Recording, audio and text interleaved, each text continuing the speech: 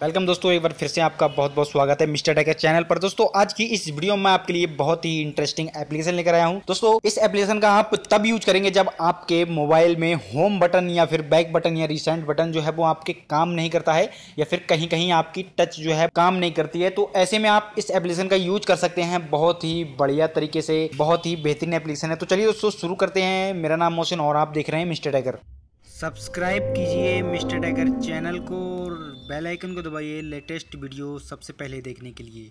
सबसे पहले दोस्तों, हमें एक एप्लीकेशन चाहिए होगी। इस एप्लीकेशन का लिंक मैं वीडियो के डिस्क्रिप्शन में दे दूँगा। इस एप्लीकेशन का नाम है मल्टी एक्शन होम बटन तो इसे आप डिस्क्रिप्शन से डाउनलोड कर सकते हैं। डाउनलोड करने के बाद इस एप्लीकेशन ओपन करेंगे। ओपन करने के बाद कुछ इस तरीके का जो है वो इंटरफेस आपको दिखाई देगा। आपको ओके कर देना है। ओके करने के बाद यहाँ पर नीचे, सबसे नीचे देख पा रहे हैं आप लेफ़्ट सेंटर एंड राइट यहाँ पर आपको कुछ लेफ़्ट पे रेड कलर का सेंटर पे ब्लू कलर का और फिर राइट पे रेड कलर का जो है वो बटन दिखाई दे रहे हैं, कुछ कलर दिखाई दे रहे हैं। तो आपको ये दोस्तों कलर नहीं है, ये आपके मोबाइल के बटन है जो आपके यूज़ में आने वाले हैं। तो अभी ये बहुत ही छोटे हैं तो आपको इसकी हाइट और वेज लंबाई, चौड़ाई जो है वो ज़्यादा कर लेनी है। तो मैं ये चौड़ाई करता हूँ इसकी। आप अपने हिसाब से इसे ले लीजिए जितना भी रखना चाहते हैं। मैं ले लेता हूँ अस्सी और ये हाइट ले लेता हूँ साठ। सेंटर पर आप देख पा रहे हैं, इसकी लंबाई और चौड़ाई जो है वो बढ़ गई है तो इसे क्लिक करने में आसानी होगी। तो ऐसे ही लेफ़्ट में आप जाइए लेफ़्ट में स्लाइड कीजिए। अब इसकी हाइट और वेट अस्सी और हाइट सिक्सटी ओके। तो ओके करने के बाद दोस्तों, जैसे कि आप देख पा रहे हैं, ये बटन्स आपके बहुत ही बढ़िया आसानी से दिख रहे हैं। आप इसे, इनकी लंबाई चौड़ाई बढ़ा लीजिए, फिर इनका काम कैसे होगा? तो आप आइए। सबसे पहले आइए लेफ़्ट में। लेफ़्ट में आप यहाँ पर ऊपर तीन बटन देख पा रहे हैं। यहाँ पर action on click action on double click action on long click आपको करना क्या है? एक्शन ऑन क्लिक पर क्लिक करना है। उसके बाद आप एक बार अगर क्लिक करेंगे तो आप कोई भी फीचर खोलना चाहते हैं तो उसे आप एक बार सेलेक्ट कर लीजिए। जैसे कि मैं एक बार क्लिक करूँगा तो रिसेंट एप्लीकेशन खुल जाएगा। तो मैं रिसेंट एप्लीकेशन पर क्लिक करके ओके कर देता हूँ। ओके करने के बाद कुछ इस तरीके जो है वो इंटरफेस दिखाई देगा। आपको परमिशन इनेबल कर देना है।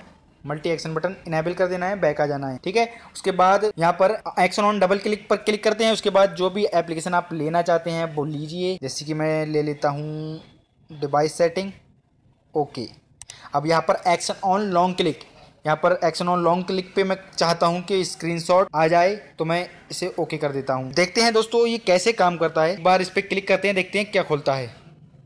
एक बार क्लिक किया रिसेंट्स एप्लीकेशन आ गए हैं। अब दो बार क्लिक करते हैं, देखते हैं क्या होता है। दो बार क्लिक करने के बाद जैसे कि हमने चूज़ किया था सेट डिवाइस सेटिंग तो डिवाइस सेटिंग जो ओपन हो चुकी है। अब आगे देखते हैं लॉन्ग प्रेस करने पर ये क्या खुलता है।